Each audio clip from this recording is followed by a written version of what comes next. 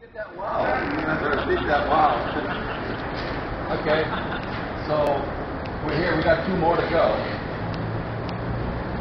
Dead buildings are live buildings. Usually, all your first floors are live. All of these first floors. Too much money to be made on a first floor. But then we got dead tops. Okay, we understand why. Economy, this, that, and the other thing. Um, and everybody, everybody doesn't realize, but there's a huge market down here uh, to basically restore this market, you have to fill it with people on the second floor. It has to be a mixed use. Nationwide, the mix for every downtown in the country and as well as the world has become first floor commercial, second floor residential. Because if you put people in the downtown, they'll feed the, they'll feed the commercial, and they'll live down here. And the people that are going to live down here are going to have 1.2 kids. So these are all lofty kind of apartments, and there's so much apartment space that it's going to be great. So you got to bring the people back. Otherwise, a land, a lawyer will not take a second floor. He's got too many options on it. Anywhere else, parking and floor access. Dentists, everybody in the world wants first floor parking. You can't get it down here. So the only thing you can do with these buildings, other than take them down, is put residential up there again. So that's where we have it. But with that, these people need to get down and you need to get in, even if it's a dead building. So right from here, let's look at that one and we'll go to that in a second. And now I put that one underneath it. Cars in the way. There's a standpipe issue, and does this one have a standpipe? Yep, there's a standpipe issue on this one, so you have to fight this fire using this standpipe. So right now you can't. But now let's look at the fire escape, what do we got? Totally rusted out, all original hardware. You can see huge chunks of rust in the, in the, in the tread clips. All original hardware. Pieces of cable hanging everywhere. Maybe that was a load test. You know, That was a. It used to be a ladder. Yep. But then they took it out because they had to put in this blower, you know, the ductwork. They've got a satellite dish.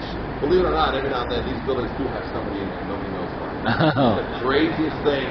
But you know, there's somebody like living in it that's not Our satellite looks new. Yep. That's why I say. Uh, so, or that could be for the restaurant down below. They needed to see the, the, the The western sky, and so they use that.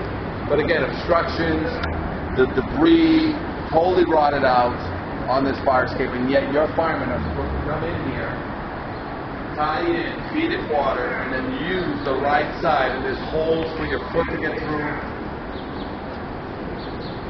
And somehow, your guys are going to be asked to access the roof. Some poor guy is going to say, dude, get on the roof and blow me a hole in the roof. We need some air in this building. What's that called? Ventilation, right? And you're like, you want me? Yeah, you. You're the rookie one. But you said, in case of fire, and let's do?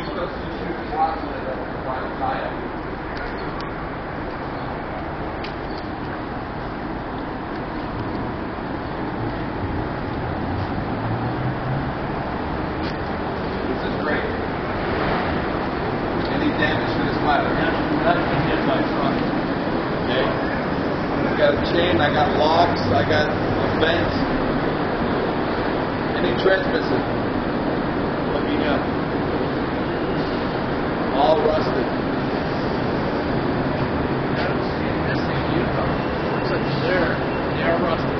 Inter- interesting box system. See the, wa- the weight? box. It's a big block of cement, rotting all the way through. The bullets look like they've never gotten any uh, grease. Does this building look like it's active? Right windows, uh, windows up there, I Yeah. would say this is, uh, This is an active, active into a hallway. This looks like a hallway uh, access. Two apartments that get, a, get on the hallway. We got block exit, right? And uh, we got a sprinkler system issue. I mean, not a sprinkler, a standpipe. So you're expected to come here and fight this fire the only way you can.